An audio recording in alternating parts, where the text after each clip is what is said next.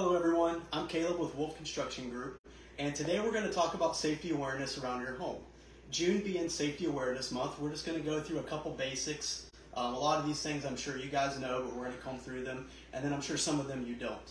Uh, just a couple basic pointers. Um, one thing to look for um, that's a big cause of sometimes, unfortunately, fires in your home or other safety issues or concerns is uh, loose electrical wires or components in, throughout the house. So that can be anything from drop cords um, to uh, just loose electrical connections um, with cords going into outlets. And it can be as extensive as actual outlets that have loose connections within them. So um, as you can see, this one we opened up.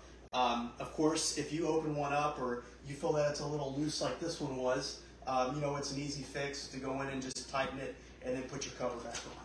Um, but if you do open it and see that there could be some loose wires or other things, um, you know, obviously call a licensed professional and get their opinion um, on coming out and actually doing the repairs safely and successfully.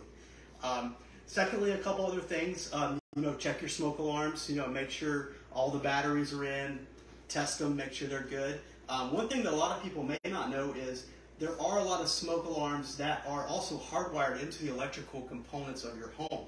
So they're actually not powered by batteries.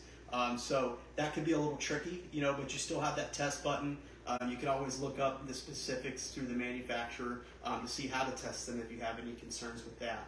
Um, thirdly, another thing is um, look for plumbing leaks. Look underneath your sinks, uh, look throughout the house. You know, if you feel any soft spots in floors or, you know, the bottom of a cabinet seems to be a little bit spongy, um, you know, that's a good sign that there is a water leak. It could be something as simple as the, in the P-trap of the sink itself.